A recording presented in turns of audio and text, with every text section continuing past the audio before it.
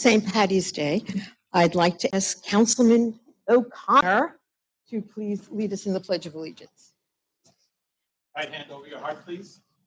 I pledge allegiance to the To the flag flag of the United States of America and to the republic for which it stands, one nation, under God, indivisible, with liberty and justice for all. Thank you. Well, uh, good afternoon, everyone, and a belated happy St. Patty's Day to everyone. Uh, Throughout the month of March, it seems communities across the town have been celebrating St. Patrick's Day with parades all along our main streets. Just this past Friday, members of our community joined us on the steps of Town Hall as we lit the Town Hall cupola green. The Irish heritage is etched into the fabric of our community and has made our community all the better for it. So on behalf of all of us as the town board, happy St. Patrick's Day. And let's not forget today, as we celebrate the beginning of spring later or early this evening, we also celebrate St. Joseph's Day. Uh, I'd like to kick off the meeting by recognizing two exceptional students from Brentwood High School, Alicia Hassan and Stephanie Pisano, for their outstanding achievements in the National STEM Challenge.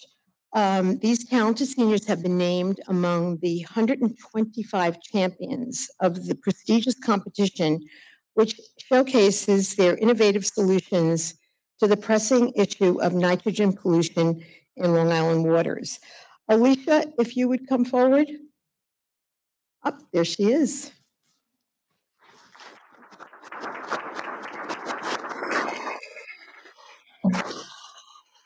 Alicia Hassan. in fact, if anyone is here joining us today for a family, please come up with, with her and be recognized. And also, if there's anyone from the district that's here. Alicia has made a remarkable impact with her research on the effects of nitrogen pollution on eelgrass.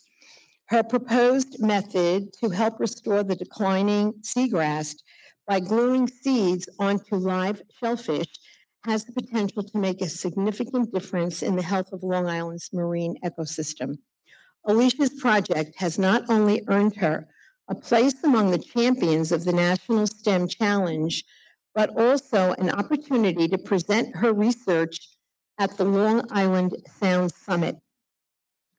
Um, I don't know if Stephanie is here, but why don't we get your award here? Uh, Alicia, we have your citation. I'd ask the town board to please come join us and we'll present this to you and. uh,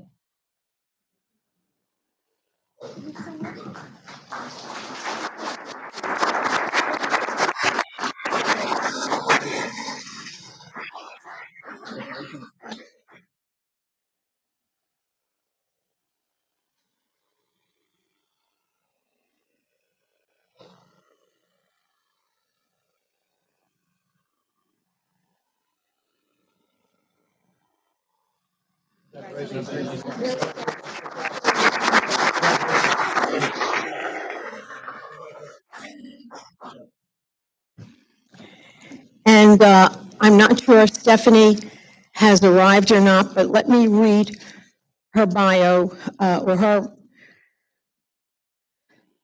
project to you. She is an 18-year-old from Brentwood, has invented a groundbreaking filter designed to reduce nitrogen pollution from fertilizer runoff and septic waste. Her innovative solution has the potential to positively impact the water quality of Long Island's bays and harbors. Her dedication to her research has not only earned her recognition as a champion in the National STEM Challenge, but also a chance to compete in the International Science and Engineering Fair in Los Angeles. The success of Alicia and Stephanie is a testament to the exceptional work being done by the educators and mentors at Brentwood High School. The research program led by educator and scientist uh, Rebecca Grella, who's been here many times, has consistently produced high-achieving students who have gone on to make significant contributions to the field of science. We're so proud of the outstanding work being done by Brentwood High School students and educators, and we congratulate them. So one more time, let us uh, congratulate both Alicia and Stephanie.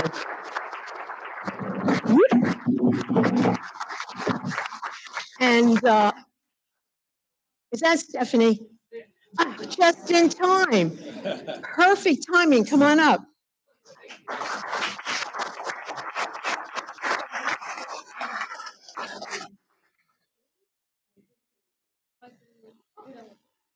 Let them He in. said there was no more room. Well, Tell they them to come in. them. Call down and tell them to let them in.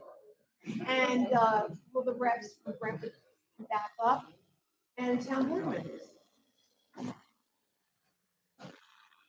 We're very strict fire marshals, you know, occupancy codes, and we look at these guys, we don't want to mess with them.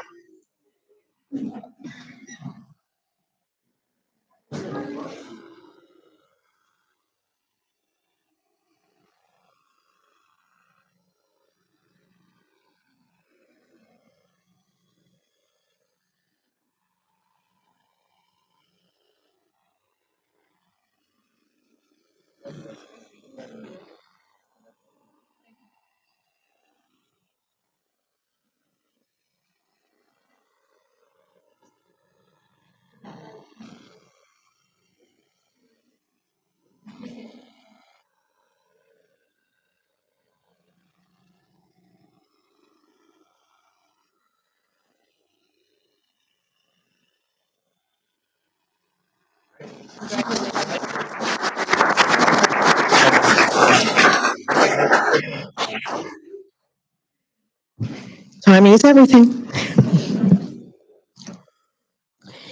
This month of March is also National Women's History Month, serving as a poignant reminder of the profound impact women have made on our lives and our community.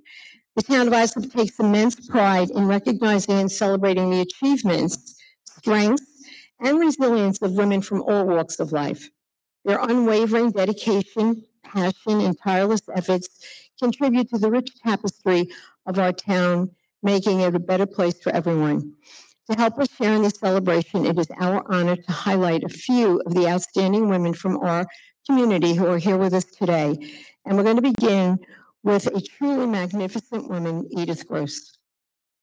Edith, born in Czechoslovakia. Edith, you want to come up or do you want to sit there? Sit there and wait, and then we'll, then you can come up. Edith has lived a life of resilience, strength, and unwavering faith. Despite enduring the tragedy of losing her mother at a young age and the horrors of a Nazi concentration camps during World War II, Edith never lost her sense of humanity and compassion. Her ability to find light in the darkest of times, exemplified by her generosity in sharing what she had, even when it was so little, is a testament to her indomitable spirit. After being liberated by the Allied forces, Edith embarked on a journey to rebuild her life, first in Israel and then in America. Overcoming the challenges of learning a new language and finding employment, she went on to create a beautiful family, becoming a beloved mother, grandmother, and great grandmother. Edith's legacy extends beyond her family as she has dedicated herself to educating generations about the Holocaust, sharing her profound story and message of love, kindness, and unity. At the inaugural, as the inaugural speaker of our Town of Islip Unity Council, she came to lunchtime speaker series and shared her words of wisdom, and they have brought light to the world, making her an inspirational figure in our community and beyond. For her extraordinary life, tireless efforts, and the indelible mark she has left on countless lives, please join me in recognizing Edith Gross. Edith, please.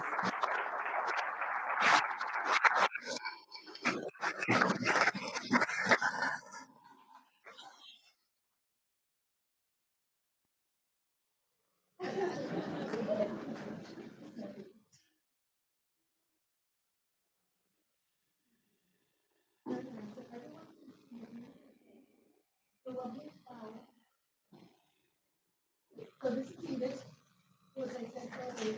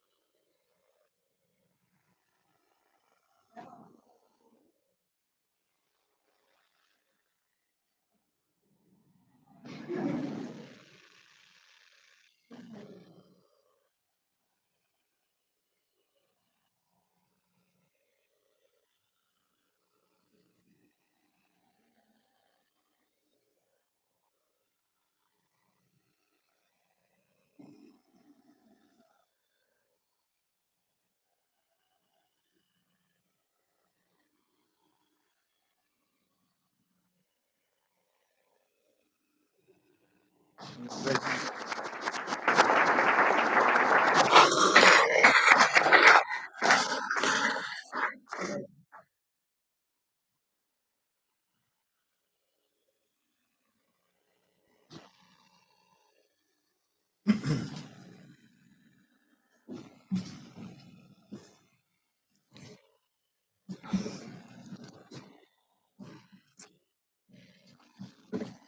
Again, congratulations, Edith, and thank you for coming down today and for all you do. Uh, Now I'd like to invite Councilman Jim O'Connor to take the podium to introduce our next honoree, Dr. Janice McCormick.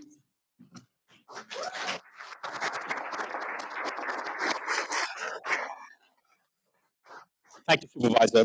Um, Each month, we do these uh, awards ceremonies, and they're very special, and it's very important that we do them.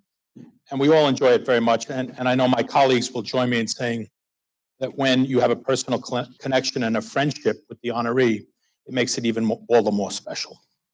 I see two of Janice's boys here, Max and Gabe. Evan must be studying in Brooklyn Law today. Uh, Dr. Janice McCormick has dedicated over three decades to providing exceptional cardiovascular care to the islip community. As a highly skilled and compassionate cardiologist at South Bay Cardiovascular Associates, she has touched the lives of countless men and women, offering expert diagnosis, treatment, and preventative care for a wide range of cardiac conditions. Her areas of expertise include echocardiography, cardioobstetrics, adult congenital disease, and cardio-oncology, showcasing her commitment to staying at the forefront of her field. Beyond her clinical practice, Dr. McCormick has made significant contributions to the advancements of women's heart health. She played a key role in launching the Good Samaritan Hospital Women's Heart Wellness Program, and I see some of our folks from Good Sam here today. Thank you for coming, which focuses on treating women of childbearing age with underlying cardiovascular disease. Her tireless efforts to educate and empower the community through adult lecture series, school health fairs, and local food pantry support demonstrate her unwavering dedication to promoting heart-healthy habits and helping those in need. Dr. McCormick's outstanding achievements, coupled with her compassion and community involvement, make her a true role model and a deserving re- recipient of this year's Islip's Women History Month recognition. Janice, if you'll come up, please.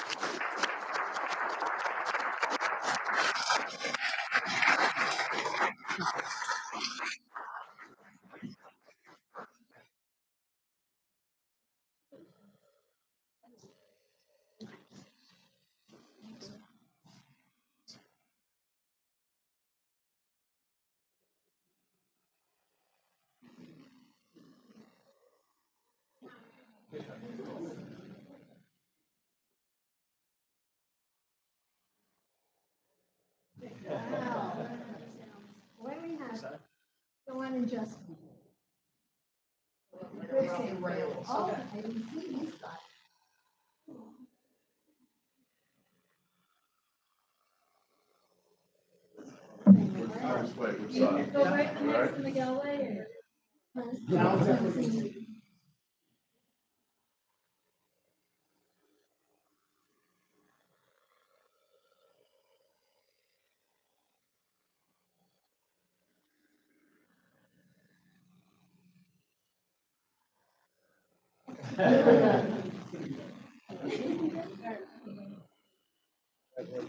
Keep up the great work.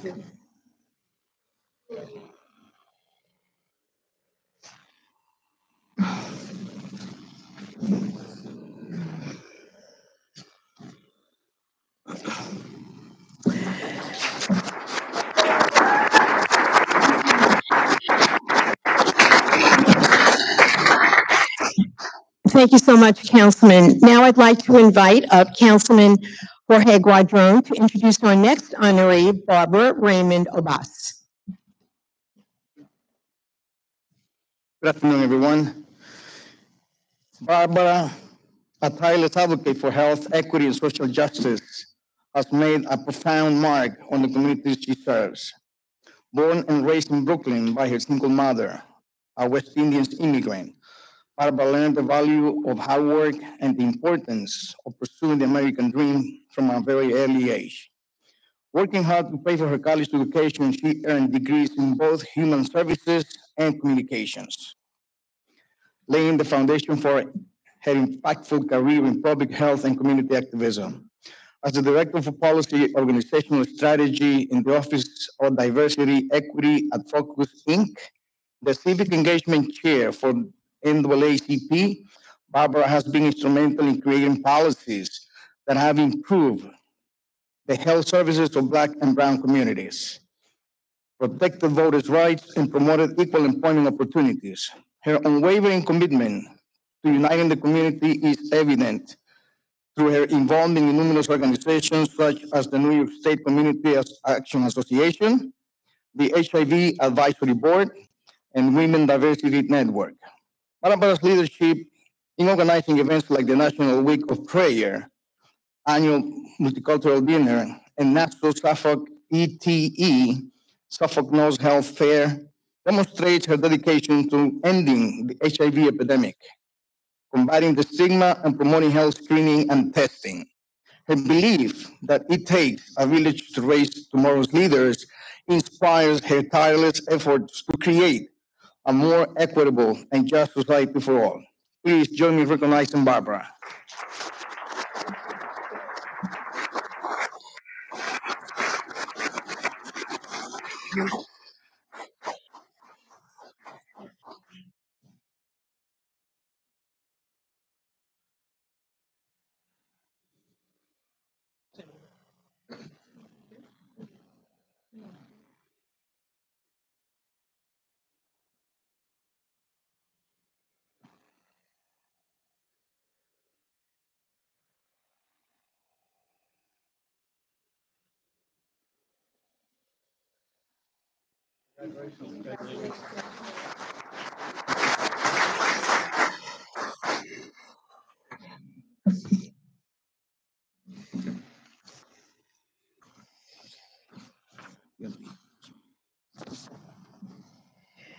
Thank you, Councilman Guadron. And now I'd like to invite Councilman John Lorenzo to the podium to welcome our final honoree, Phyllis Bacchio. John?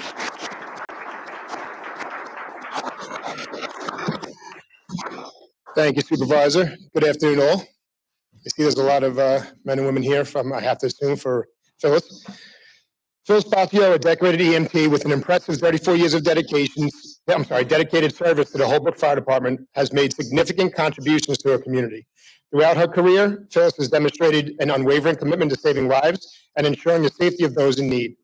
Her exceptional skills and compassionate nature have earned her numerous accolades, including several life-saving awards from the Holbrook Fire Department and a prestigious life-saving award from the American Red Cross. Phyllis's expertise and leadership have been invaluable to the department, as evidenced by her roles as second lieutenant, first lieutenant, and captain, as well as her tireless efforts in mentoring and training incoming EMTs since 1991. Phyllis's passion for serving others knows no bounds, as demonstrated by her remarkable response rate and dedication to her duties. In 2023 alone, she responded to an outstanding 623 EMS alarms, 86 motor vehicle accidents, 588 fire alarms, while also participating in 481 ambulance rides. Phyllis's commitment to her community is truly unparalleled. I can get in trouble for saying this next line. I'm uh, I, I'm a one boy out of a, a whole house full of women. Even at the age of 80, she continues to be certified as an EMT, showcasing her lifelong dedication to this noble profession. Sorry, Phyllis. My mom would yell at me. Phyllis Posey's selfless service, extraordinary achievements, and unwavering devotion to saving lives make her a shining example of the impact one person can have on their community and the most deserving honoree for the, our town's Women's History Celebration. celebration. Please join me in recognizing Phyllis Posio.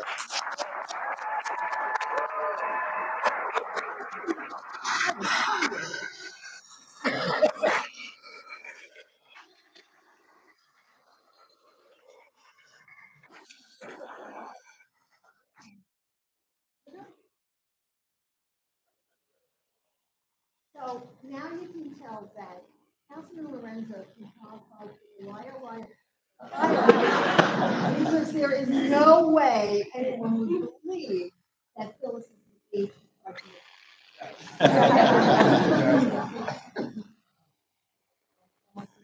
Absolutely, please.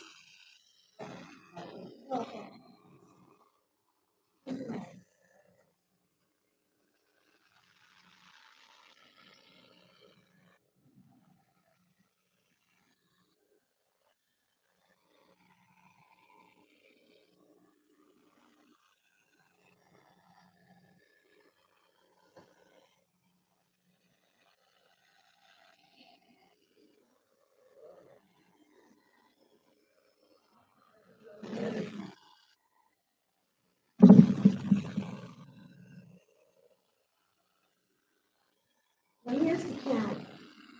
Sorry. Come on, guys.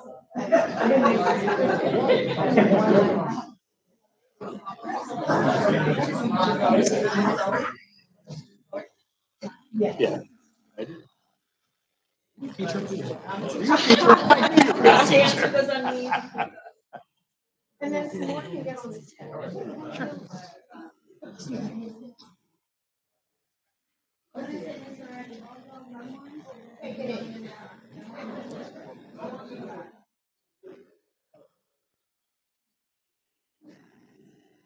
Becky.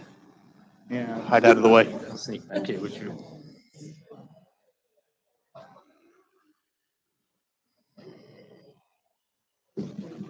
Gets us close to the door so you can carry out the business, right?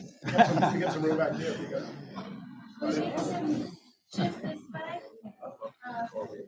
Everybody steps to left. Everybody steps right.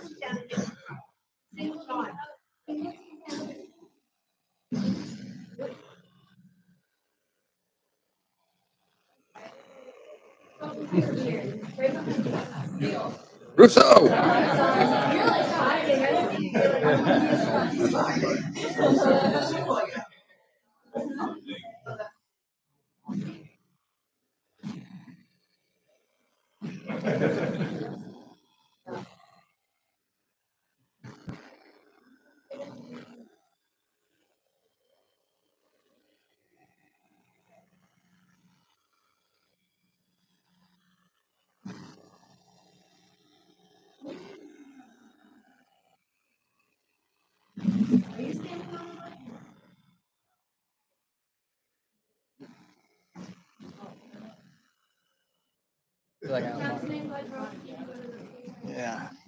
It's like, yeah. Excuse me.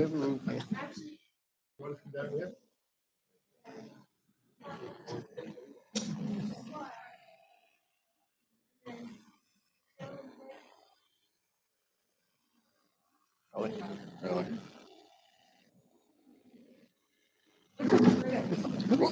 Knock it over.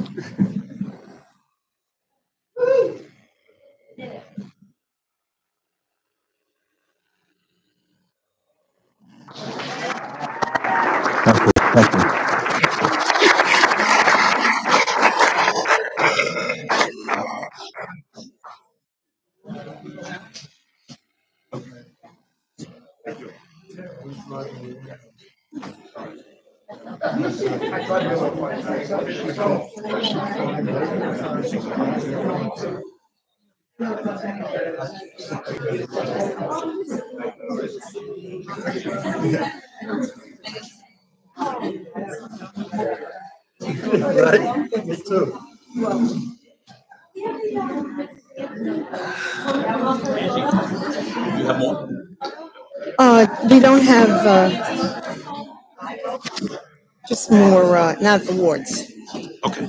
just Get a more. picture with my wife in Oh, practice. I want you to be in it too. so. Have that come up right now. Yeah. Caitlin. get- get, uh, Take care. Thank you. Oh, you're so welcome. Give me that. We're not done. Who? Oh, we'll give it.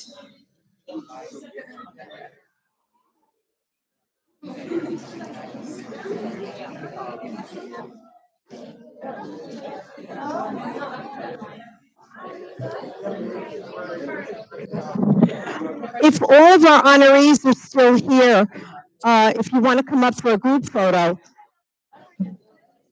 Edith, Dr. McCormick, Phyllis, and Barbara.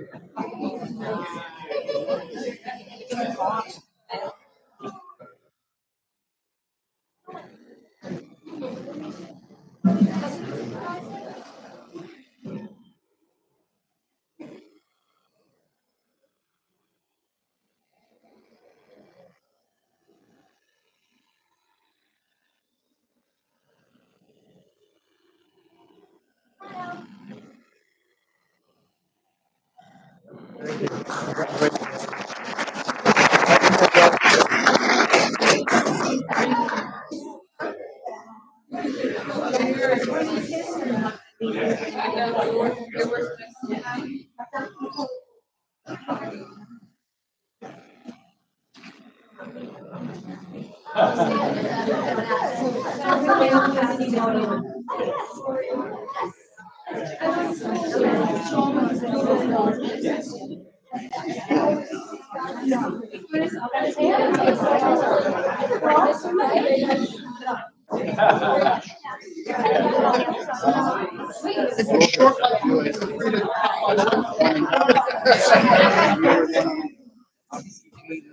you. Yeah. yeah. No,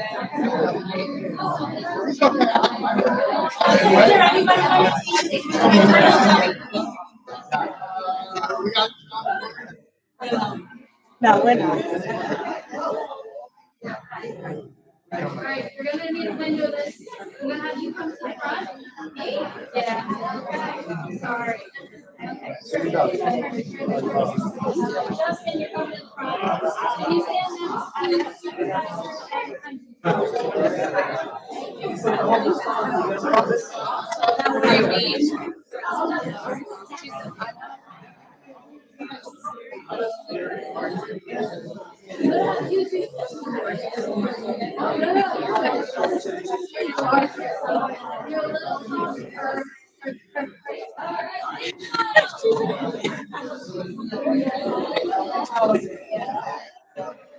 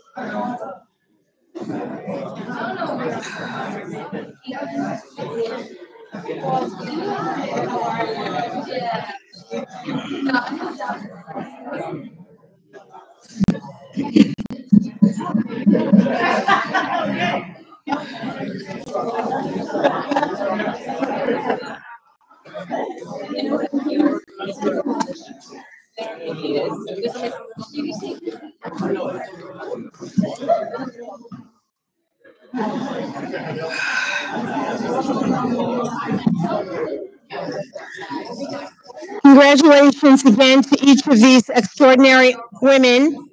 Thank you for your hard work.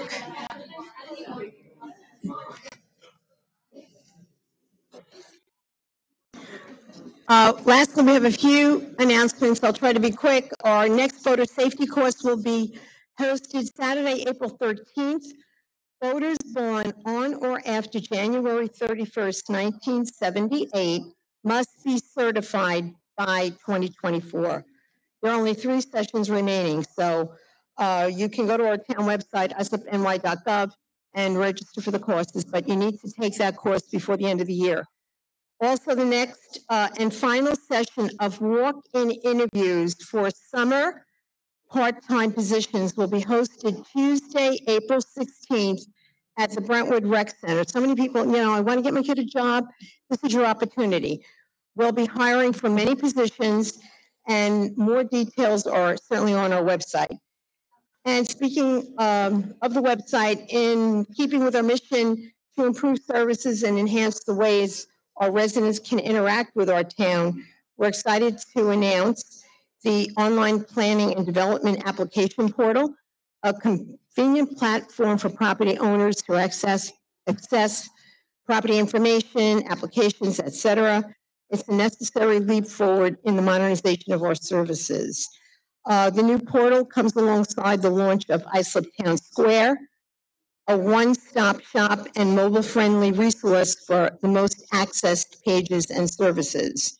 Both the new planning portal and Islip Town Square can be found at the website islipny.gov. And finally, we're thrilled to announce a new uh, user-friendly, more than ever, website uh, for Long Island MacArthur Airport, more convenient and accessible.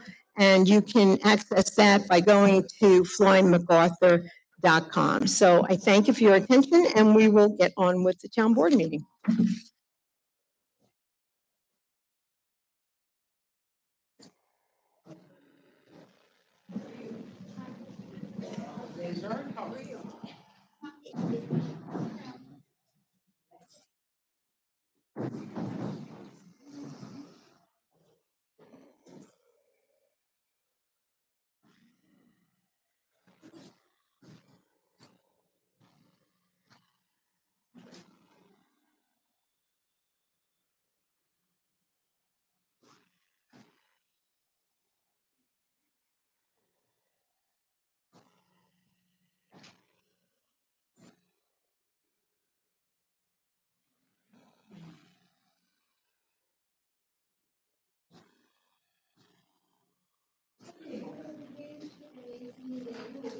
Scheduled public hearings, and I would ask the town clerk to please read the first hearing notice.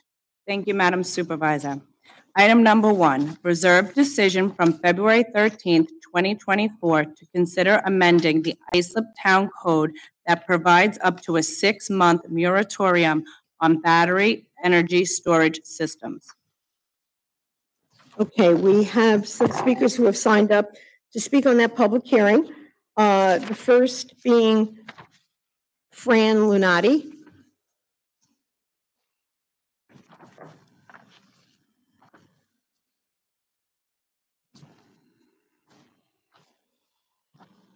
Good afternoon, Town Supervisor Carpenter and the members of the board. My name is Fran Lenati, and I reside at 176 Colony Drive in Holbrook.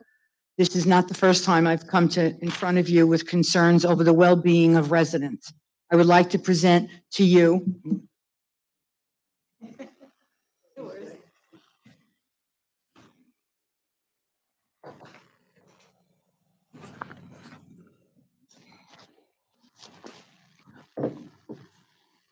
Twenty-seven hundred and thirteen signed petitions and three hundred signed letters from concerned residents from all areas, especially Holbrook.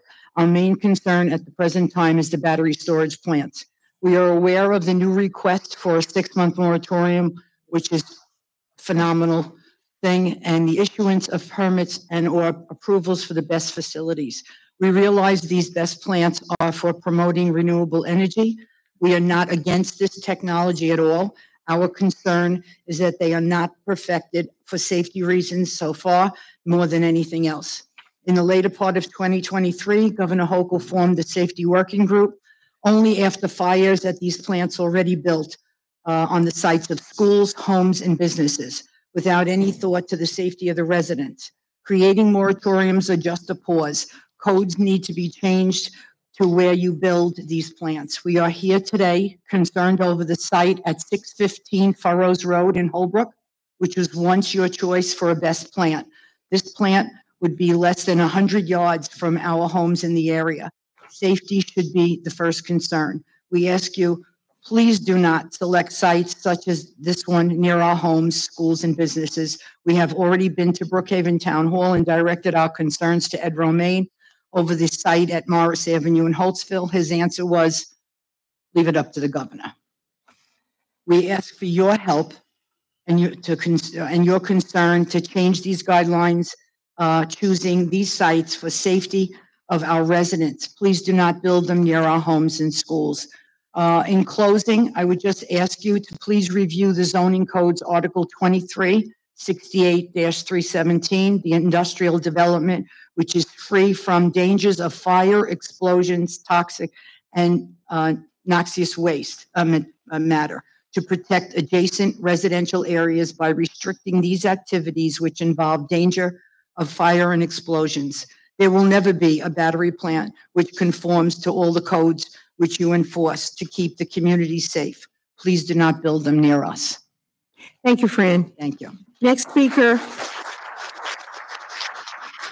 Carmela uh, Ricchetti.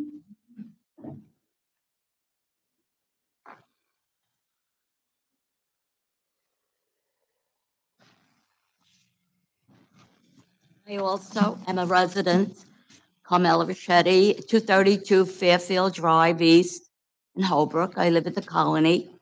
I moved out here in 1969.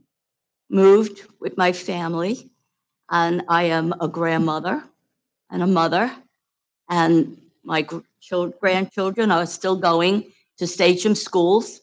Thankful to them for stepping up for us and their lawyers are proceeding also for us. This is dangerous. It's not that we don't feel that the batteries are okay.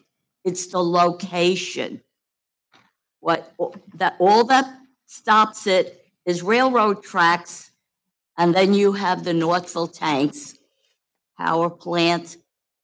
There is a tremendous risk. We and I feel that you, as the town board meeting people, are here for our safety. I feel secure knowing that all of you have us in mind, our families, our children, our homes. So I'm asking you, as a resident of Islip, to think about that when you're proposing these proposals of where the batteries will be placed. I'm sure if everyone got together, we know that all the other towns are also facing this issue. We now need Islip to stand up for us. Thank you. Thank you, Carmela. Um, Both of you uh, articulated your concerns very well, uh, something that we have heard. And I think I speak for all the members of the town board in thanking you for your confidence in us in protecting your safety and that of all of our residents. Uh, This is something that uh, I brought to the Supervisors Association so that we can speak, you know, with one voice to this issue of the safety of the battery storage terminals. Uh, There are no other cards to speak on this public hearing. I will entertain a motion. Second. We have a motion and a second, uh, and this would grant that six-month moratorium. All in favor? Opposed? We have four in favor, one um, negative. The motion passes. Okay, we will uh, go to the second public hearing. Madam Clerk, if you would, please read the hearing notice.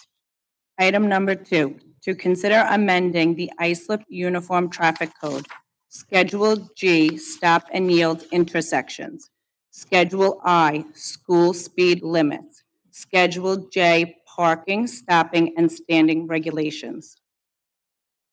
Thank you. Were there any questions? There are no speakers. Do you have a motion? Make a motion to close the public hearing and offer the resolution first adopted. We have a motion by Councilman O'Connor, second by Councilman Guadron. All those in favor? Opposed? Uh, The hearing is closed and it is adopted. Uh, We will move then to the uh, public portion. We have a number of speakers, just to remind everyone. um, You have three minutes. And uh, again, it's not a question and answer, but rather to bring your concerns forward, concerns or uh, compliments, whichever you choose. We're here to listen. Uh, And our first speaker is Jim Schlau.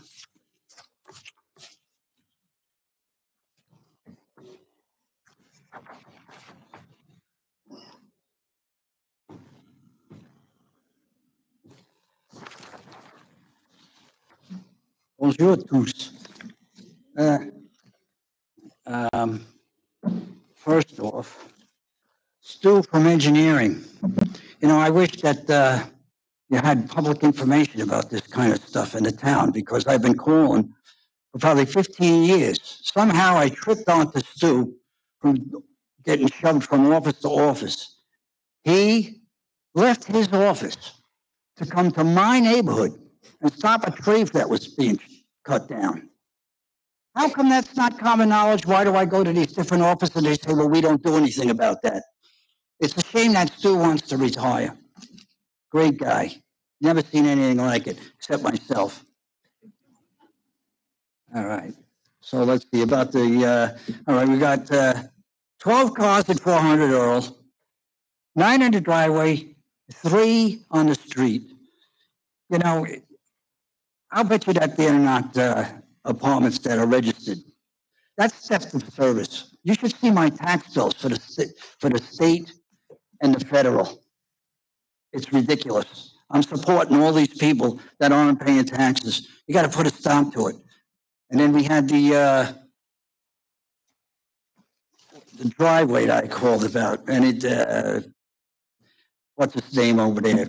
Jason told me they need pedigree. Now, you've been, you've been there four years plus now, where you are. You wanted this job. What I'm saying here is, you should get with the town attorney to find out, they need the birth date of the owner of the house. The front of the house is paved, it's cement. There's tons of houses like that. And I have pictures here that I want to give you because one of these is resolved, but it's resolved because they were evicted. And who knows what we're going to get when that's sold. And there's another house that I called in about with no plates on it. They moved faster. You got, you, you got to my house faster to tow my cars than that one. So they moved. Now, let's see here. Um, this is about the uh, ADUs. Some houses are close together. ADUs will fill the already crowded streets with more cars. Now, I got that by me. I don't rent any rooms, and I got their cars on my, in front of my house. And your street sweeper can't, doesn't even go down the street now because it's futile. There's, there's nothing you can do. And then you got these cesspits that fill up, heavy traffic. You've heard about the traffic ad, ad infinitum. You know, I, I don't know where it ends. You've got to stop fooling around with what's going on in this town. We need backbone. We need somebody like a Republican, like Marjorie Taylor Greene. Or, for instance, Thank you, Jim. We'll let you know when she moves to Islip. Uh, Next speaker, Andy Cross.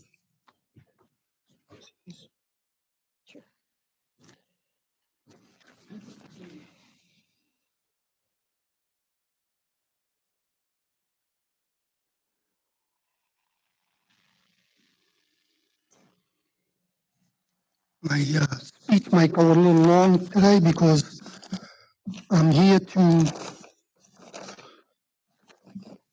give my state of the town. So you went for 25 minutes, I give me a little le- uh, leeway here. When you started off your state of the town message, you thanked the department heads, which you gave them a thirty or forty thousand dollar per year raises a couple of years ago. Also, you said eight years laying a foundation, signing bond rating as, as a good rate. But you forgot getting a bid for thirty years for equipment that's usable life is only twenty years, so that's ten years without paying, paying for a bond that there's no equipment for. And bonding six or seven million for a two million dollar Clemente Park cleanup, which you were on the, you were the supervisor when it happened. Was not. Where did the extra money go and what happened to the ten, what happens for the ten years that the equipment goes past its life? My children's children are gonna be paying for this man, mismanagement. One has to wonder why the town has good ratings when the town is the best customer, even buying over the amount needed.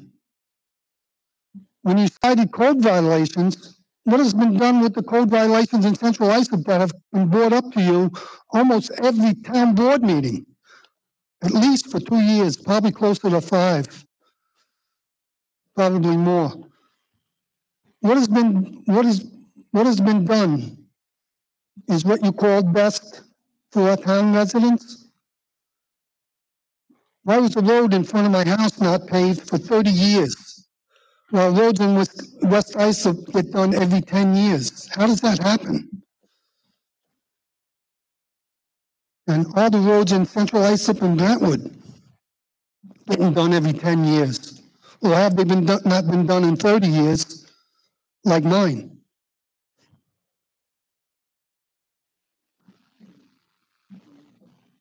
IDA incentives given to the five-story apartment building in Bay Shore. And what does apartments buildings have to do with IDA? What happens when the school and fire taxes have to go up due to extra kids in the school and fire department buying more equipment just to go up five stories?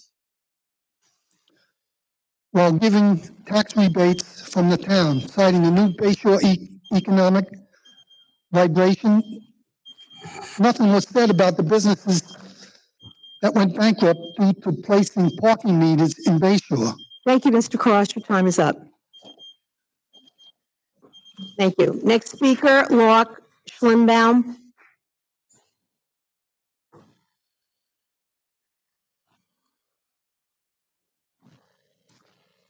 Thank you. Uh, Good afternoon Supervisor Carpenter, members of the town board, and other ISLIP representatives. I am here with regard to the Sunrise Development Change of Zone application. At a town board meeting held on February 7, 2023, a petition pursuant to Town Law Section 265 was presented to the town board. As a result, the change of zone application requires a supermajority of the town board or the application could not be granted. Since a year has gone by, we wanted to make sure that the app, the petition is still accurate. So a new radius map and a new surrounding property owners list have been obtained from the town. They show that the ownership of one property has changed. Uh, the new owners of that property have signed an additional page of the petition, and that new page is now presented to you with prints of the new surrounding, uh, property owners list and map and a short cover letter. If you would please add this to the other 20 pages of the petition that were presented to you a little over a year ago. Thank you. Thank you, Laura. We certainly will. Thank you.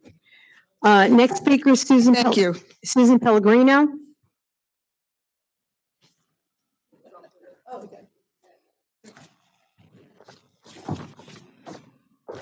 Good afternoon Supervisor Carpenter and Town Board members.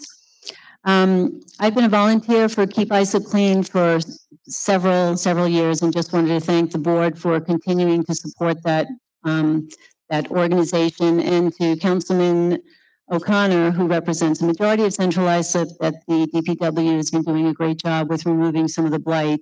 Um, and it's, it's having a, a positive, a positive impact. I want to thank you on behalf of the Central Islip Coalition of Good Neighbors for attending our October general meeting and to Councilman Guadron for attending our recent um, February meeting. It means a lot.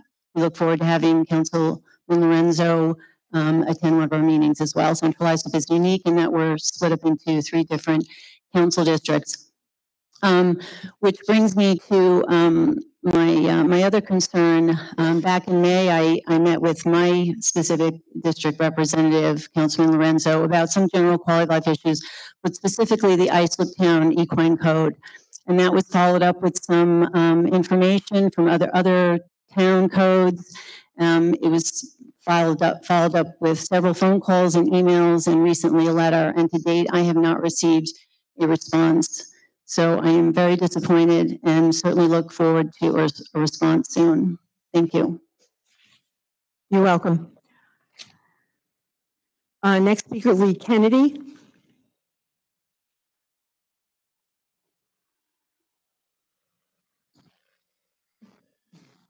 Hi, I'd just like to say thank you for having me. Uh, I went to the Oakdale Civic meeting. Mr. O'Connor was there and he was explaining some of the things that are happening in Oakdale. One Byron Lake. Um, he himself thought the pond was going to be dredged. He explained that there's going to be brick around it and water flowing, but not dredged anymore. I know it took a number of days just dredging the little pond in Oakdale, in the artist colony. Uh, I can't believe that no one's going to at least attempt to dredge half of the, the gook out. Uh, I don't know, after all this work, if the entire problem is going to be solved, if the pond is going to look nice. That's number one. Number two, I was also informed that there is going to be an, a, a restaurant bar, part of the pool complex, found out that they're going to be serving alcohol during the day as well as the evening. There are children that ride their bikes to that pond, uh, pool. There are uh, kids that walk to that pool. Uh, drinking today, you know, you, you hit see more hit and runs than ever before. It's on the news. Uh, more more alcohol, more accidents because of drinking high or drunk. So this should have been reported, I think, to the community before you made a commitment or sending out an RFP. Uh, and I think that was unfair, not letting the community know. I don't know how they feel. I'm not here representing them. I'm here representing concerns. Uh, my third issue here is Dowling College. Um, I know that they went through a grievance program and they won paying less taxes. But I also know that you had uh, required them to pay $250,000 a year towards maintenance, but you never said what type of maintenance. So now it appears that's going to be a whole other scene of what does maintenance mean to them? What does maintenance mean to you? Wouldn't this have been better served if maintenance, if this was already pre-planned before you made any statement as to what, what your agreement should be? Uh, Number four, I'd like you to write this down. Um, There's been some concerns, some building, I'm not going to say where they are, that leave our district, our community in danger. Uh, Mr. O'Connor knows where they are. Now Byron Park's being added to that, that, and I'm going to hold this town liable. If anyone in my community gets hurt, if there's a car accident, a child gets hurt, because it's not the people, it's, it's, it's you as our leaders that are not doing a hundred percent of, uh, of, of a focus group on knowing what's best for the community, what is legal and binding. My time is up. Thank you for your time. Thank you, Ms. Kennedy. Um, That is it with the speakers who have signed up. Um, Have a motion to close the public, po- oh, I'm so sorry. I'm so sorry. Relax, relax. I just saw it. Thank you. Lisa Mazza. I'm so sorry. Don't apologize. Good afternoon, Town Supervisor Angie Carpenter and Town Board. My name is Lisa Mazza. I live next door to 894 Bay Ninth Street in West Islip for over 10 years. I have endured violence, destructive, abusive behavior, with dozens of police reports to support. My property has been damaged many times. My car tires slashed, electric stolen. My backyard furniture and barbecue was taken and cut up, along with 40 feet of my bulkhead while I was out of state for the holidays. Death threats painted on a fence, dog feces thrown on my doors and windows, hosing inside an open window, and causing flooding damage.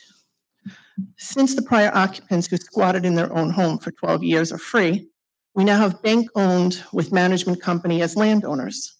They are now squatting, partying, stoling mail, my backyard, threatening, throwing food, alcohol, leaving massive amount of garbage which eventually blew in the bay. The daily amount of strangers, kids, bike gangs, neighborhood nosies seem to think the house is a free-for-all, with amenities that they don't have to pay for.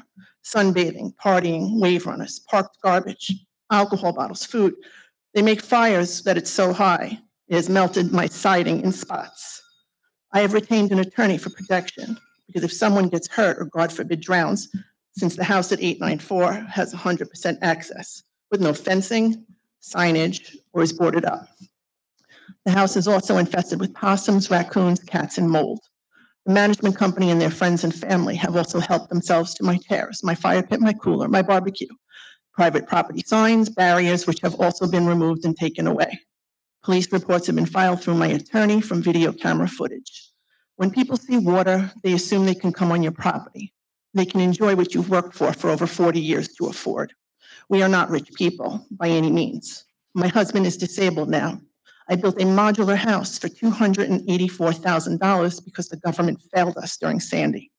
I am still fighting for insurance money. On a side note, across the street, 888 East Bay Drive should be condemned. Neighbors have tried for over 20 years to do so. The owner has rented to gang members with 20 people, eight cars, stolen vehicles, toddlers unsupervised running in the street day and night. It is also infested with animals and mold. No signage, no fencing, or boarded up. It's a hangout as well. I live with cones on my property because the immense amount of traffic on two empty homes brings my house as a turnaround because in the warmer weather, it is a hazard for emergency vehicles that can't pass. One-sided parking would help, even for FedEx and UPS. Thank you for all the taking the time to listen to me. Thank you, Lisa. Thank you, Angie. Our next speaker is Gregory Pepe.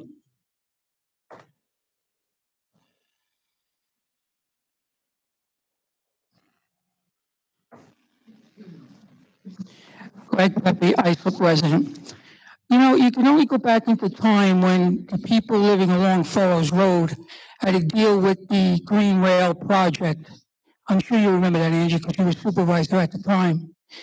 And now they want to put a battery uh, facility over there. All right. Why would you do that in, in that area for one thing?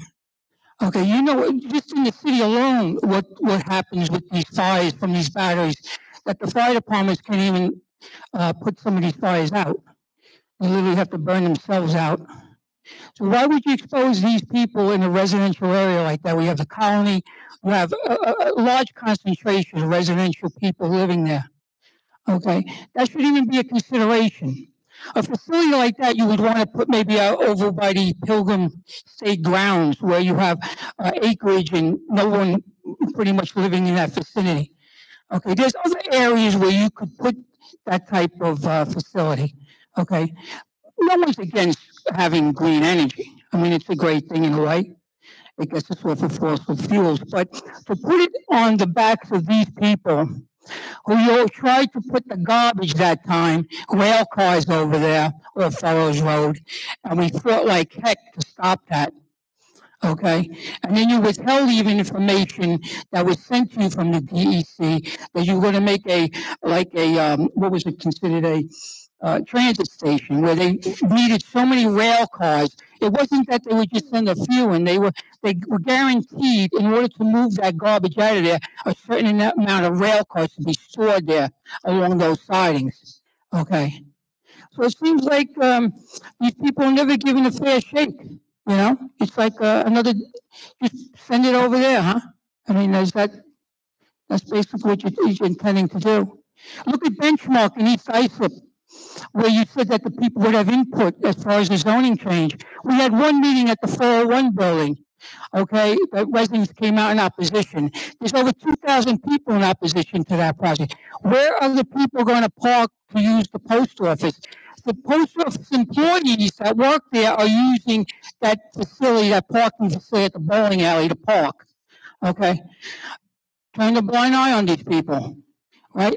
We'll just put an assisted living facility there 24 7, clog up Greenview, Greenwood Avenue, and uh, which is now what to begin with, where all the delivery trucks going in and out of Montauk Highway, another bottleneck.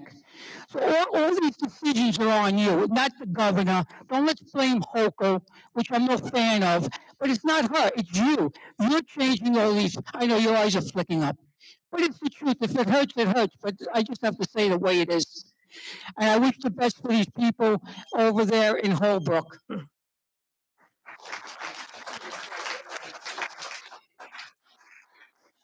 Thank you, Mr. Pepe. Point of information, that battery or uh, storage facility that is being proposed is in the town of Brookhaven. Uh, Motion to close public hearing? Motion. Motion by Councilman O'Connor, second by Councilman uh, Lorenzo. All those in favor opposed? The public portion is closed. Thank you, everyone. Okay, the, uh,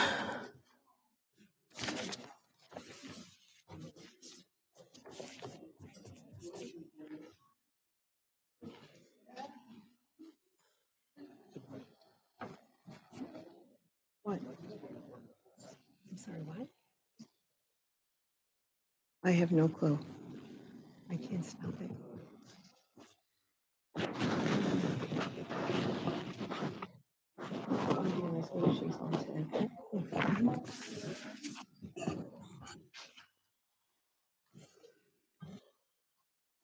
Uh, We have a number of resolutions today, one being the bonding resolution, and one of the speakers uh, erroneous- errone- erroneously, mistakenly uh, suggested that we were bonding uh, something for 30 years that uh, only had a useful life of 20.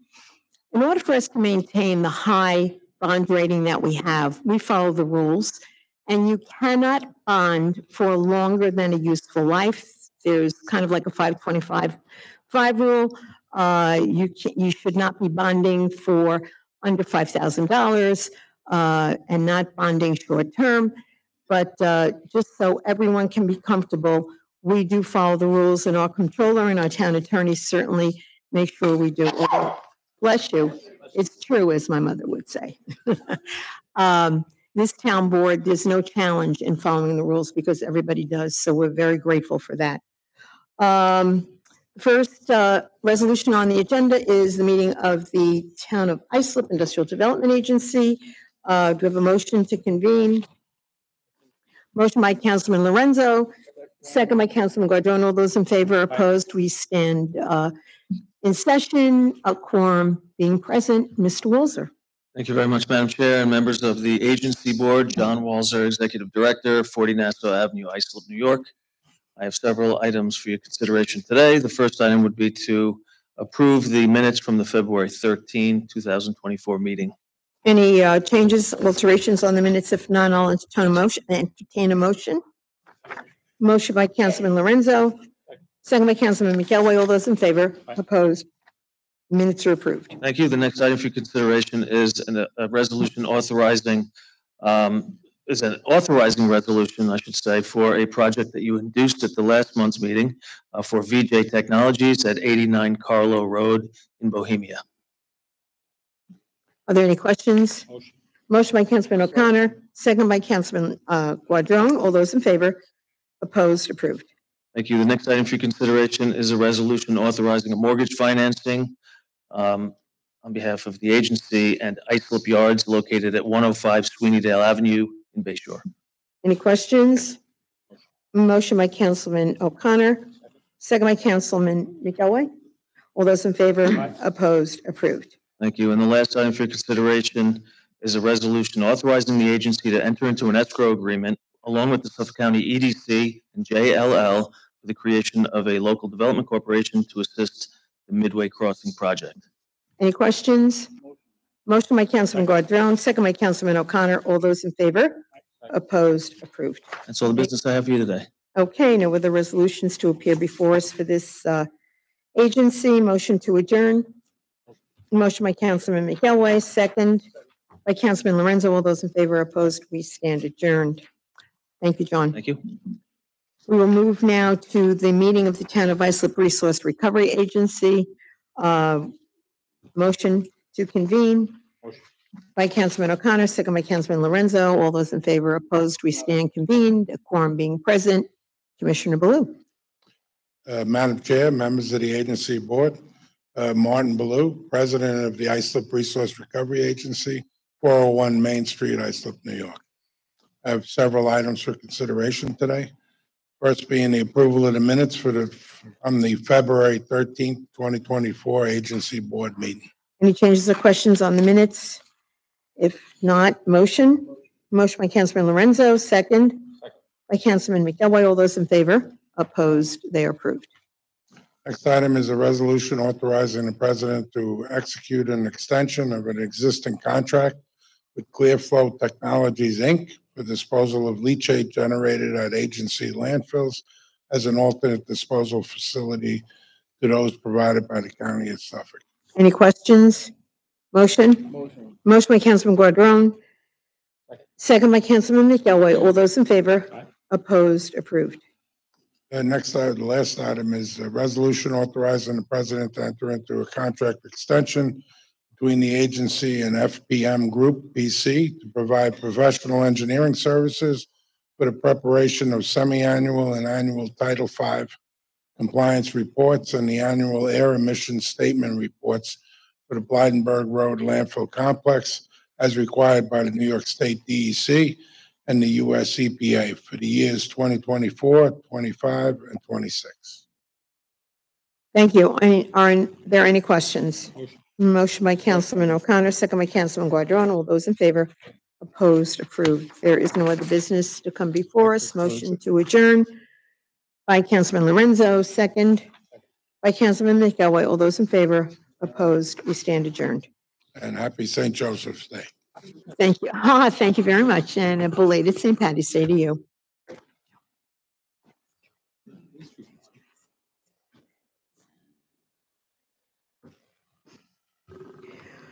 Okay, uh, next resolution, authorization supervisor to enter into a contract with Granny Corning for the provision of solid waste services within Fair Harbor Garbage District for the years 2024, 25, and 26. Are there any questions? Hearing none, motion? Motion by Councilman Lorenzo, second by Councilman McElroy. All those in favor? Opposed? It is approved. Uh, Next, let me just make sure I have this straight. Okay, next we have uh, town board authorization to clean up or secure certain properties uh, in the town of Islip. I see Jeff is here uh, to walk us through this. Yes, good afternoon, Madam Supervisor, members of the town board and the town clerk. Jeffrey Panacci, Assistant Town Attorney, 655 Main Street, Islip, New York. I have four properties on for your consideration here today. Number one is to clean up the premises located at 504 Rockaway Street in West Islip. On this vacant property, there now exists overgrown vegetation and large fallen tree branches, as well as litter and debris, which constitutes a nuisance and presents a fire safety and health hazard. Notice of this hearing was provided to all known persons with a property interest in this premises. Are there any questions? Hearing none, motion? Motion by Councilman uh, Lorenzo, second by Councilman McElroy. All those in favor? Opposed? Approved. Number two has been withdrawn as the property is now in compliance. Number three has also with, been withdrawn, excuse me, as the property is now in compliance. And number four has been withdrawn as the property is now in compliance. So that's all I have. Thank you. Okay, thank you very much.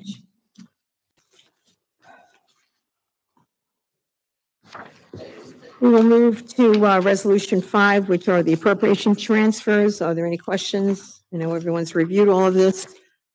Hearing none, motion by Councilman O'Connor, second by Councilman McElroy. All those in favor? Opposed? Approved. Item six, um, Town Board approval for the listing of eligible participants for the 23 Active Volunteer Workers Service Award Program, LoSAP, for the Bayshore Bright Waters Rescue Ambulance and Exchange Ambulance of the Islips. Any questions? Motion. Motion by Councilman O'Connor, second by Councilman Guadron. All those in favor? Opposed, approved. Item seven, the bid awards. Uh, Again, they've been reviewed. Are there any questions? Motion? Motion by Councilman Lorenzo, second by Councilman McElroy. All those in favor? Opposed, approved. Next, item eight, the option year resolutions. Any questions? Hearing none. Motion? Motion. Motion by Councilman O'Connor, second by Councilman Lorenzo. All those in favor? Opposed, approved. Next, we have the meeting of the Town of Islip Foreign Trade Zone Authority Board. Make a motion to convene the board. Motion by Councilman O'Connor, second by Councilman Guadron. All those in favor, opposed, we are convened. Meeting, uh, a quorum is present. Mr. Hemingway. Good afternoon, Madam Chair and members of the Foreign Trade Zone Board. My name is Brad Hemingway. I'm the Executive Director uh, of the Foreign, the Town of Islip Foreign Trade Zone Authority located in Ronkonkoma, New York. I have just two items for your consideration today. First item being approval of the minutes from January 23rd, 2024, the meeting of the Town of Islip Foreign Trade Zone Board. Um, any questions on the minutes? Motion by Councilman Guadron, second by Councilman McElroy. All those in favor, opposed, approved.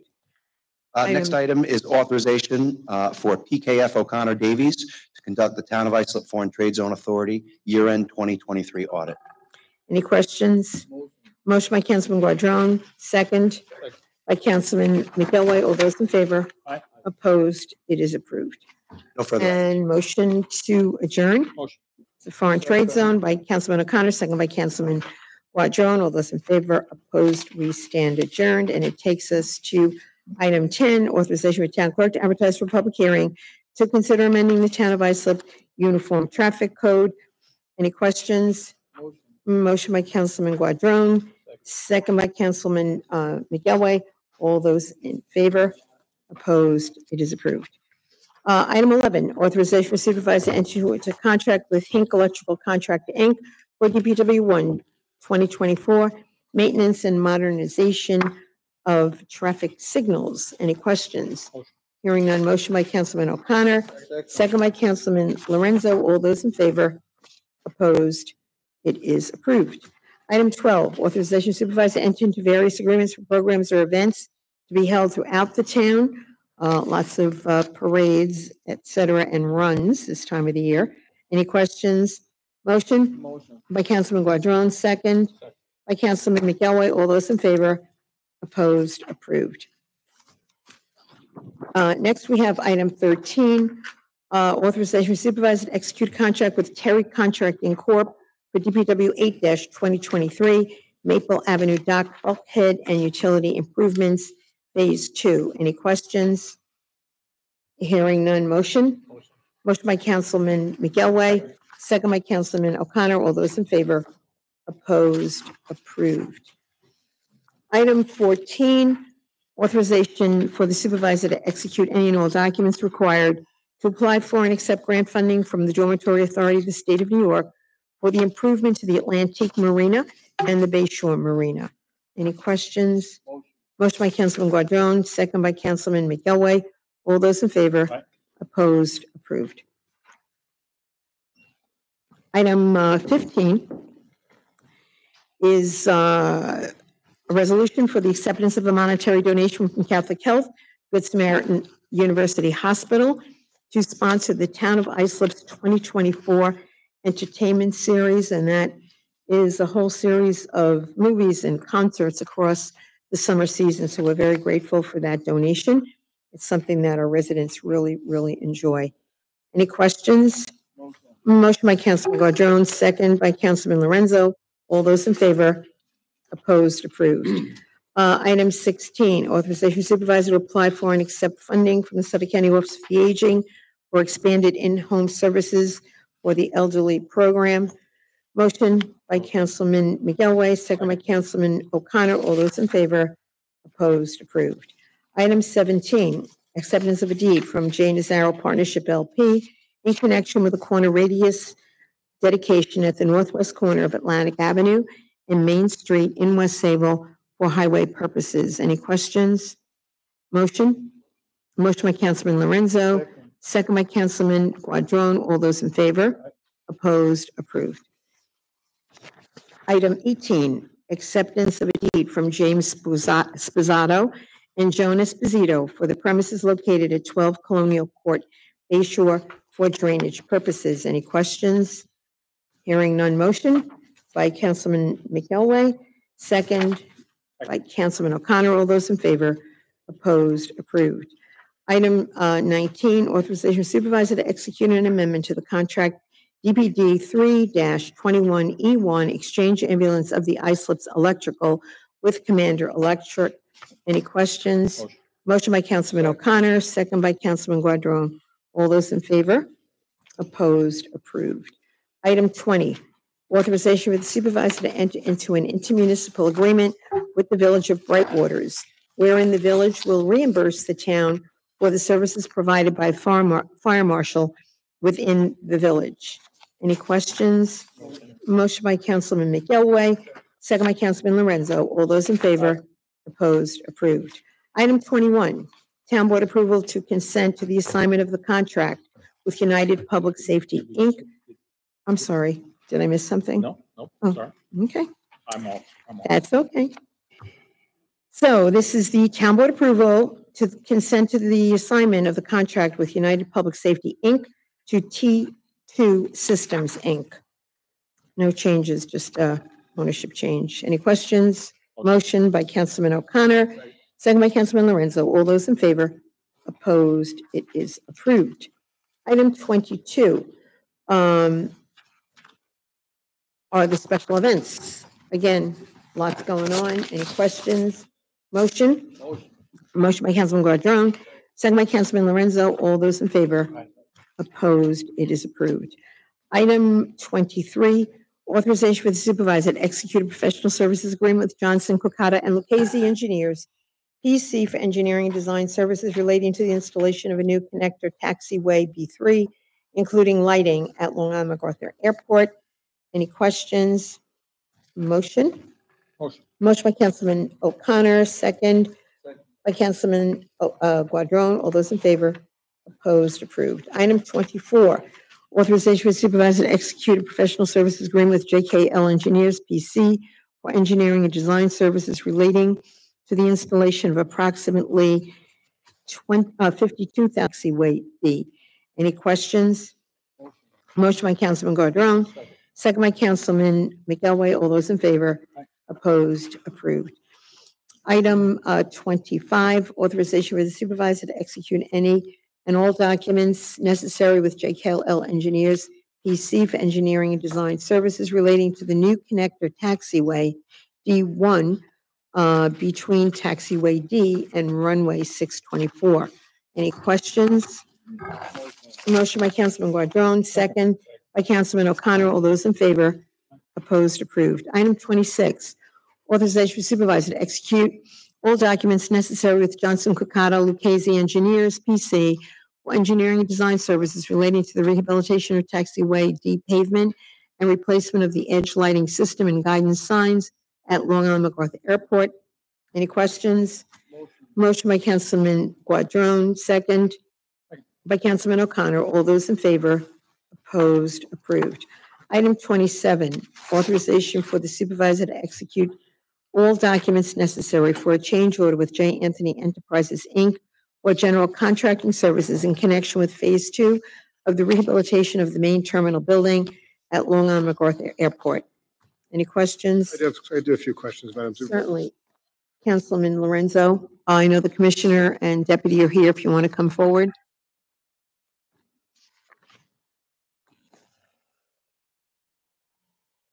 Good afternoon Supervisor and members of the town board. Hi, Commissioner, how are you? Good, how are you?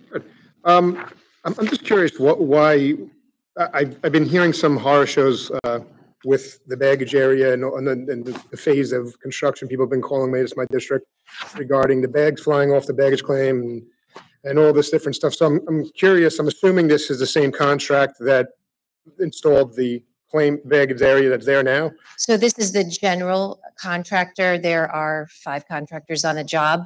Um, but in the, so this is J. Anthony. So they did install electric uh, units on the bag claims so that the eyes could find the bags and know where they were at. And then we installed additional guards on the bag belt units. The design was done by a different contractor, obviously. But it, it isn't, if they're a general contractor, they're kind of in control of all, is that how it works over? Uh, They perform the work as it was designed and how we procured the systems. So if there's failures in the systems, then their job is to correct those. And that's what a lot of this is. So we're, so why are we extending it seven hundred and twenty-four thousand six hundred if they have to correct still flaws in the system? So the bag claim units have been fixed. And so all the bags are staying on, on the bag belts. Um, There are a couple of things that are part of this contract, which is uh, the project has gone on 12 months longer than anticipated.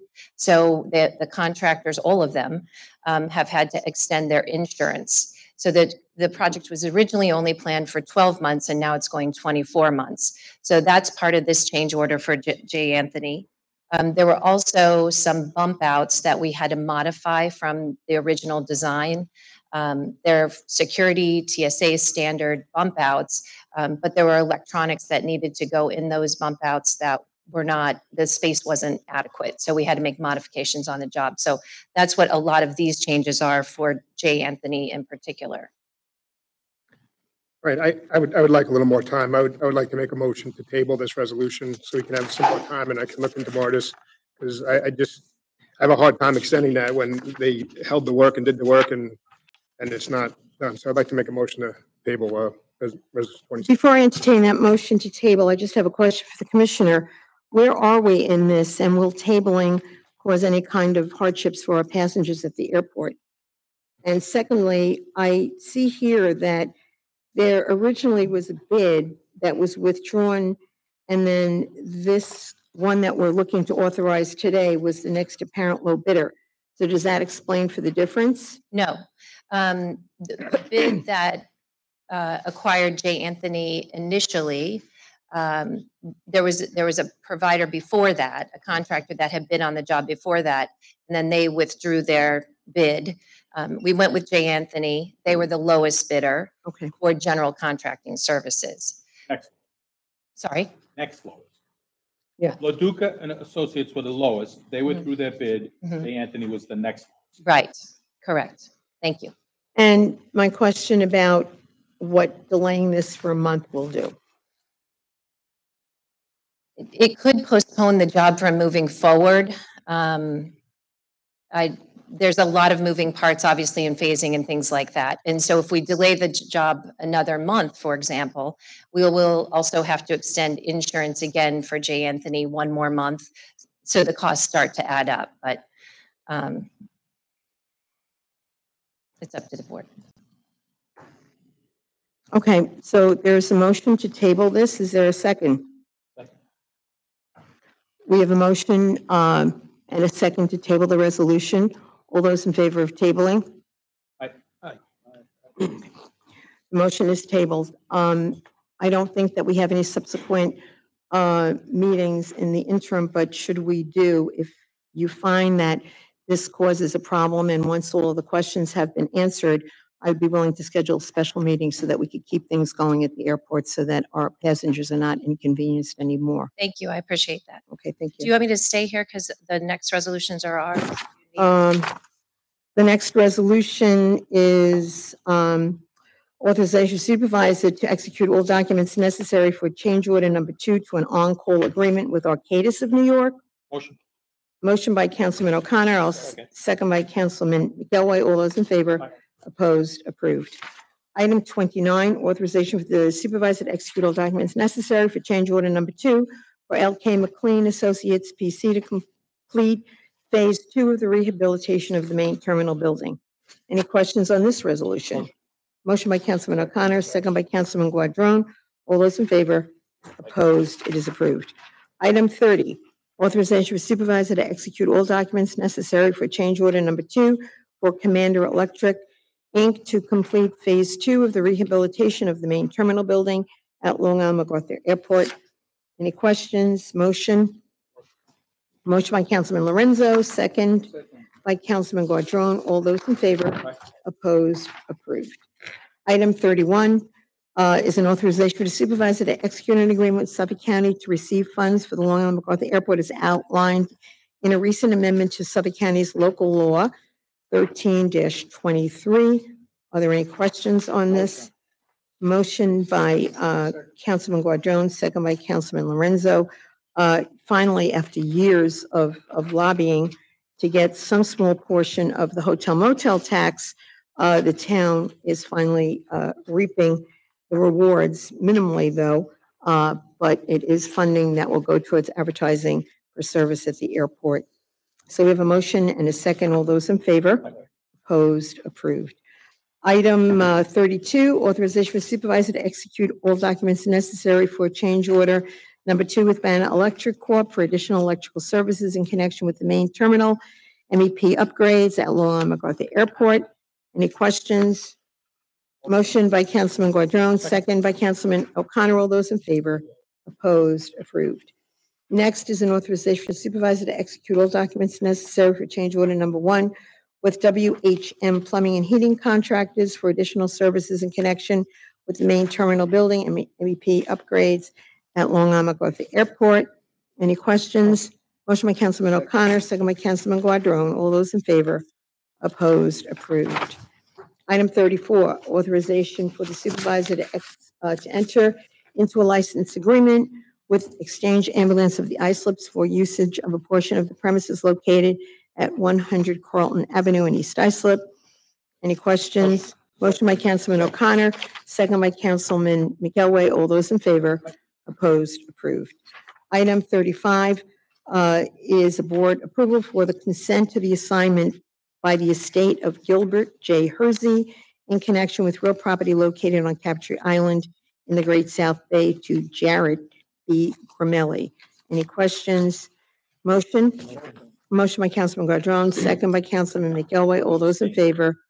We have four in favor, one abstention. The motion is approved. Item 36 is a board approval for modification of covenants and restrictions associated with TC 4752. Are there any questions?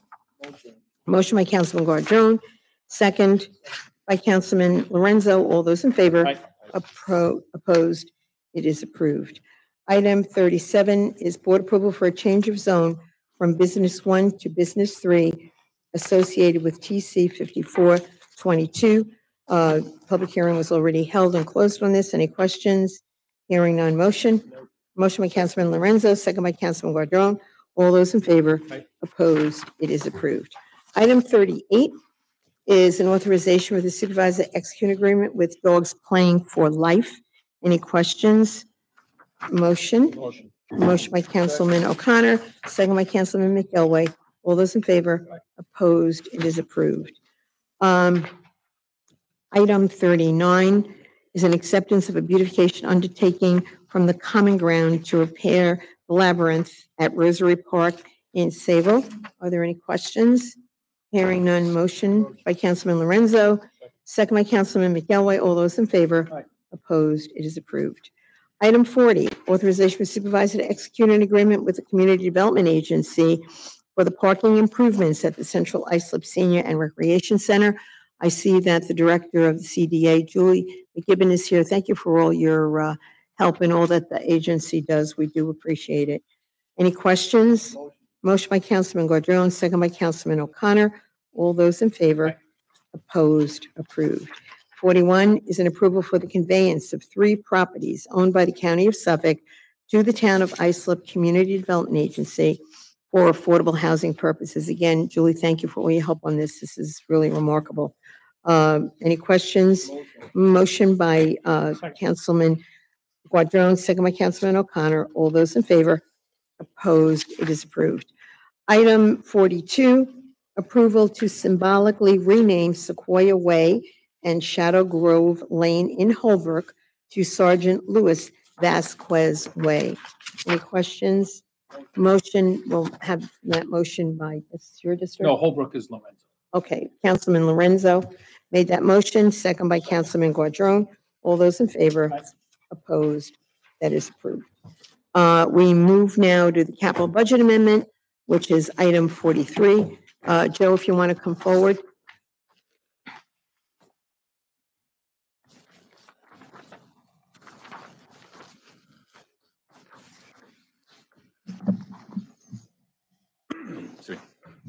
Joseph Ludwig, Controller, 401 Main Street. Okay, we um, have before us a resolution, we adopted the capital budget, and this uh, would move, uh, or modify it. You want to explain? Sorry, yeah, so the unfortunate problem with doing a budget in the summer is that it does not always have an actual tangible effect to what we're going to do eight months after the fact. So the amendments that you guys see in front of you, these are all projects that we thought were going to be good and ready to rock and roll with in August. Um, As the world does, prices change, projects change, priorities change.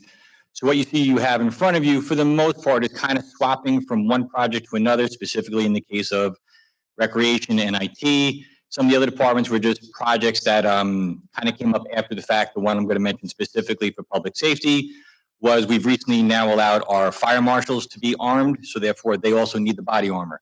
Something that was not anticipated when we did the budget now gets folded in.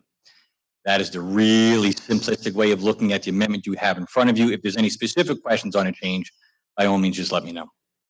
Thank you very much, Joe. Are there any questions? Motion? Motion by Councilman Lorenzo, second by Councilman Guadron. All those in favor? Opposed? The budget amendment is approved. Now we go to the bond resolutions. There Madam are Secretary, 11. I- I'm, I'm sorry to interrupt. If I can, just to dovetail off of something you said before about the bond resolutions. Yeah, And I know it's been please. mentioned repeatedly that we borrow for 30 years and our children's children's children are going to pay Yeah, for things. okay. It needs to be noted that every type of generic commodity that we're going to bond for has an authorized legal period of probable usefulness, hence its legal life. You cannot borrow for longer than the legal life. So if we have an item that's five years, that resolution is only good for five years. If we have something that's good for 40, that's good for 40. Now, there are two ways that we can pay our debt service. It's a little confusing, so I'll try to keep it as simplistic as possible. You can pay each debt service off for each bond. So this project will be paid off in five years. This project will be paid off in 40 years. From my standpoint, it makes my life a nightmare because now I have to change the amount we budget every year for debt service. The other acceptable ways, and this is kind of the standard that most people do it, it's a weighted average. And our weighted average usually kind of comes back to where within the 13 to 15 year range, more times than not, it's 14 years, and our debt service is paid off in 14 years. It is not extended. Is there a chance that we could have a five year asset that's not still here in 14? It's possible. Does it happen? I mean, probably. Is it the general rule? No. Commissioner Owen specifically takes care of the facilities, takes care of the fleet, takes care of the equipment. We get our things to last usually a lot longer than the debt service even is. So we'll have vehicles that are 20 years old, That's that debt service has been paid off five plus years. Um, I'm just going to mention this now. It is the next resolution that's going to come up, and that's the refunding resolution. Again, it's been mentioned that we can refinance our debt service, and now our debt service is going out extended, extended, extended. Again, it needs to be noted that um, New York State law precludes that from happening. So if we have four years left on a refunding issue or, or a bond issue that we're going to refinance, it can only be re- refinanced for that same four-year period. You can never extend the debt ser- debt service useful life. Hopefully that made sense. If not, Absolutely, I'll try thank you. Okay, let us go. Um, These are all roll call votes on the bond resolutions, and each has to be considered individually. In the first bond is for various purposes, immediate improvements, and that's uh, 3.975. Uh, Are there any questions on this one? We have a motion? A motion by Councilman McElwee, Second. second by Councilman O'Connor. Uh, Roll call on the vote. Councilman Quadro. Councilman Actually, I think you need to go with who made the resolution, who made the motion in the second, correct? That's the way traditionally we've done Yeah. Person who made the motion is asked first, person who made the second is asked. and then go to the rest, okay? Yeah. So, Councilman McElwee. Councilman O'Connor. Yes. Councilman Lorenzo. And Councilman Guadron. Yes. Madam Supervisor? yes. 5-0, that is approved unanimously. Okay, let us go to second bond resolution for town facility improvements, that's 1.4. Um, Any questions on this? Madam Clerk, roll call, please. Motion first, I'll make the Oh, I'm motion. so, so sorry. Motion by Councilman O'Connor, second by Councilman Lorenzo. Roll call on the vote. Councilman O'Connor. Aye. Councilman Lorenzo. Councilman Guadron. Councilman McElwee. Aye. Madam Supervisor? Yes, Five. perfect. Okay, we will go to the third bond resolution.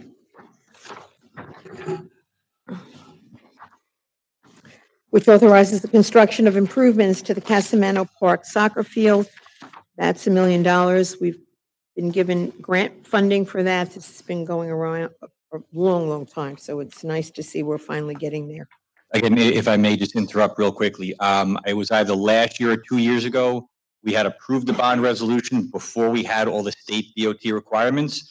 Um, bond resolutions last for ten years, so that's why the number you have, Madam Supervisor, was how much? One million. That's going to be added into the bond resolution that was previously, um, authorized, and I believe the project was two point six million Mhm. is the estimate with the grant funding that you said. I just want to explain, there's a difference, and that's why. Thank you. Um, is there a motion? Motion by Councilman McElwee, second by Councilman Guadron. Uh, roll call on the vote. Councilman McElwee? Yes. Councilman Guadron? Yes. Councilman O'Connor? Yes. Councilman Lorenzo? Yes. Madam Supervisor? Yes. Motion passes five zero. Great.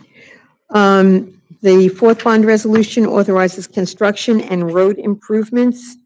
Uh, this is ten million dollars, uh, probably ten percent of what we could be doing.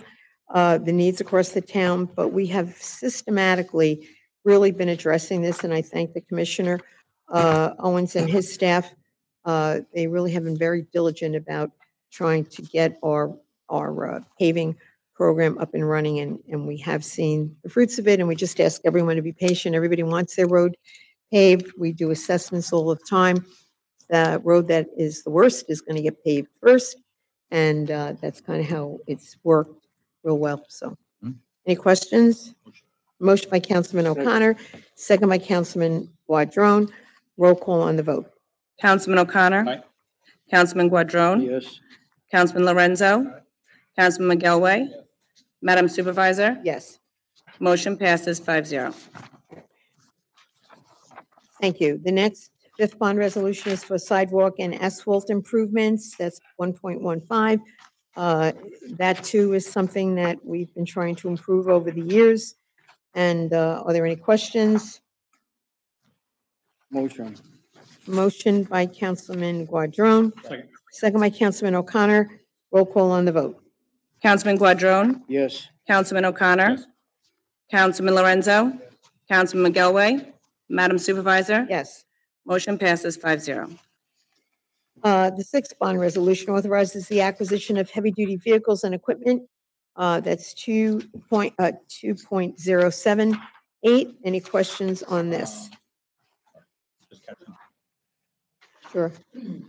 Eight, Six, Yes, thank you. no problem. Any questions? All right, uh, motion? Motion by Councilman O'Connor, second by Councilman McElwee on, uh, roll call on the vote. Councilman O'Connor? Councilman McElwee? Councilman Guadron? Yes. Councilman Lorenzo? Madam Supervisor? Yes. Motion passes five zero. Okay, the seventh bond resolution authorizes the construction of park improvements. That's 2.9 uh, million. Uh, We've made progress, but we need to keep going. Um, I think everyone can agree, we've seen a lot of really visible improvements across the town, uh, but there's more to do. Any questions? Motion by Councilman O'Connor, second by Councilman Guadron. Uh, Roll call on the vote. Councilman O'Connor? Yes. Councilman Guadron? Yes. Councilman Lorenzo? Councilman McElwee? Madam Supervisor? Yes. Motion passes 5-0. The eighth bond resolution is for turf field improvements, and that's seven point six million. Uh, again, we have done some, and we're trying to be equitable going across the town with, uh, turf fields. Uh, not only does it make the playing surface available, uh, a lot more readily, it has helped with drainage because the water, you know, there are pumps and drain systems underneath it, so that the playing field time has really increased dramatically with the turf fields. Um, and certainly the maintenance of them is a lot easier than the others. Any questions? Motion. Motion by, uh, Councilman Guadron, second by Councilman McElwee. Uh, roll call on the, on the bond. Councilman Guadron, Yes. Councilman McElwee? Councilman O'Connor? Yes. Councilman Lorenzo? Madam Supervisor? Yes. Motion passes five zero. Uh, The ninth bond resolution is for acquisition of boats for use by the town, and this would be our Public Safety Division. Um, As a town that has their entire southern border on the water, uh, the need to be there for those in distress and for uh, public safety purposes certainly is unquestionable.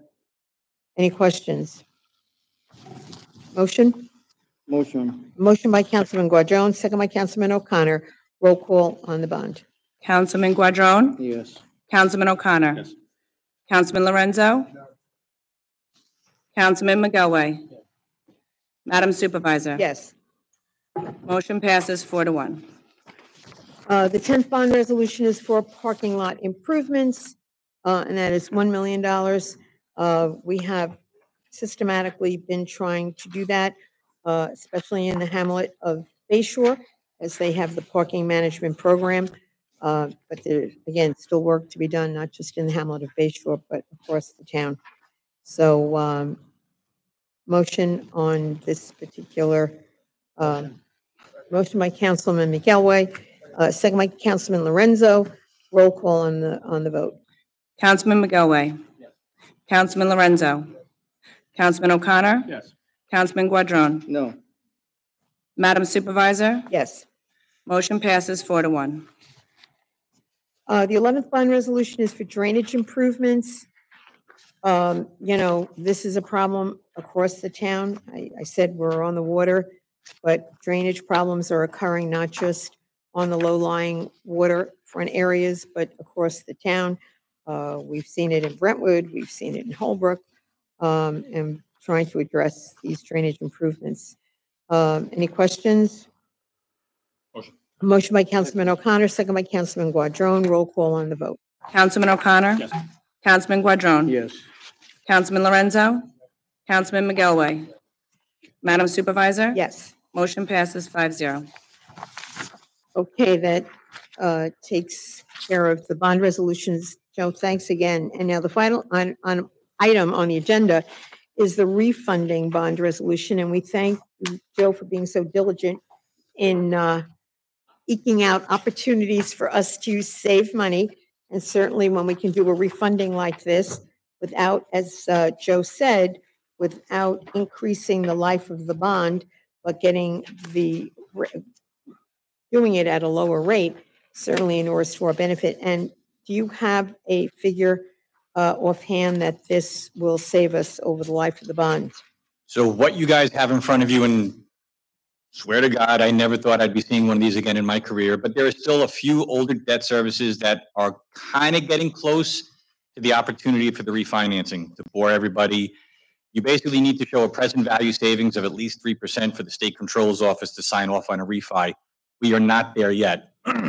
But with the way the rates are changing, and God only knows what's going to happen um, as we continue, it just made a lot of sense to have this in place so that if the rates do switch into our favor, we're able to act, especially if it happens in between board meetings. So we're not waiting for that two weeks and then potentially miss the opportunity. So as of now, there is no number that I can say that we're going to save. There's a potential we may not even be doing the refinancing if the rates don't move in our benefit. But like I said, this is kind of just one of those just in case, let's be ready in case it does. Belt and suspenders. always Exactly. Works. Okay. Um, Any questions? I will make that motion. Second by Councilman O'Connor.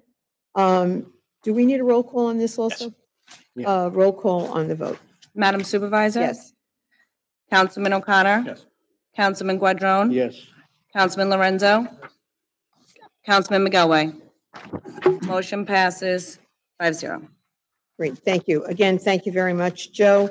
And we have no other business to come before us. I will entertain a motion to adjourn. Motion. Motion by Councilman Guadron, second by Councilman McElwee. All those in favor, opposed, we stand adjourned.